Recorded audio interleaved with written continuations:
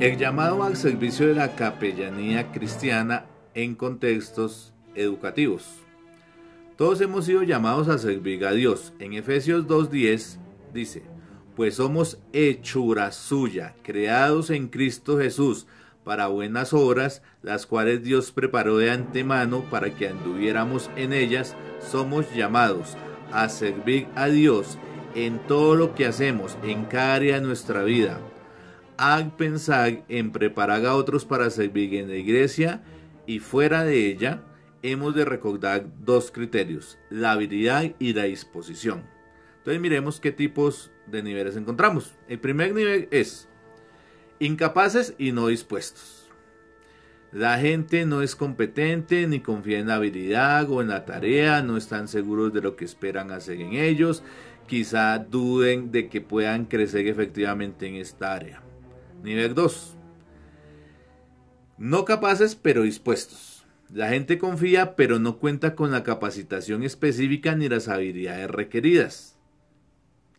3. Capaces pero no dispuestos. La gente puede estar insegura de algunos de los aspectos de su habilidad o tarea. Vacilan por varias razones, incluyendo la falta de dedicación. 4. Capaces y dispuestos. La gente está lista y capacitada para servir. Posiblemente requieren menos supervisión y mayor cantidad de aliento. ¿Usted en qué nivel está? Día a día, usted deberá estar creciendo espiritualmente. Nuestra espiritualidad consiste en la totalidad de nuestra humanidad plena, viva y dedicada a Cristo. Somos complejos. No podemos estar divididos en áreas o partecitas o pedacitos. Es todo lo nuestro, el cuerpo, los pensamientos, la identidad, las relaciones, la moralidad, los propósitos de Dios en la vida, Dios nos ha llamado a ser santos y realizados plenamente. Podemos ser eso solo si tenemos su vida y cumplimos con su plan en cada área. Que presentéis vuestros cuerpos como sacrificio vivo. Haya pues en vosotros este sentir que también lo hubo en Cristo. Si alguno está en Cristo, nueva criatura es. Amaos los unos a los otros amad a vuestros enemigos. Si me amáis, guardáis mis mandamientos. Sed santos porque yo soy santo. Todo esto es lo que a usted día a día le va a permitir ser mejor cristiano y creciendo espiritualmente. Entonces dentro de esto usted debe tener una educación y una formación.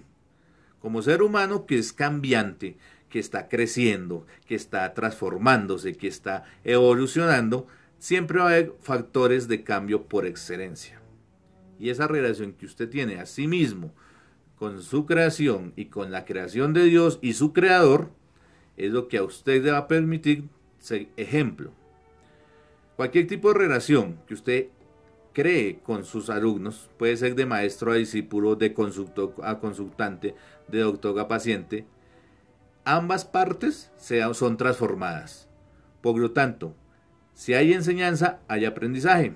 Por lo tanto, cada vez que usted toque a una persona, de cualquier forma, la aconseje, la ayude, va a haber un proceso de cambio.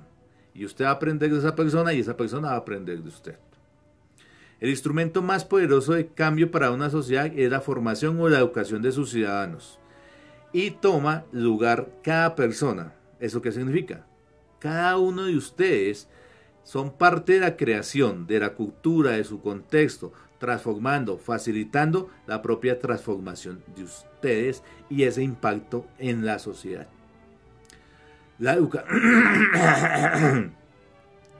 La, educación de cuarto nivel está particularmente interesada en promover un ambiente de reciprocidad y mutualidad, donde las partes involucradas, maestro y discípulo, afinan sus capacidades de análisis críticas a nivel de pensamiento, de información, articulación de conocimientos, aplicación de habilidades, reflexión analítica y crecimiento integral. Todo esto que acabamos de ver es parte de su crecimiento como persona y de cómo va a poder usted ayudar a los demás. Espero que lo aplique en sus contextos y sea un mejor capellán día a día. Feliz día.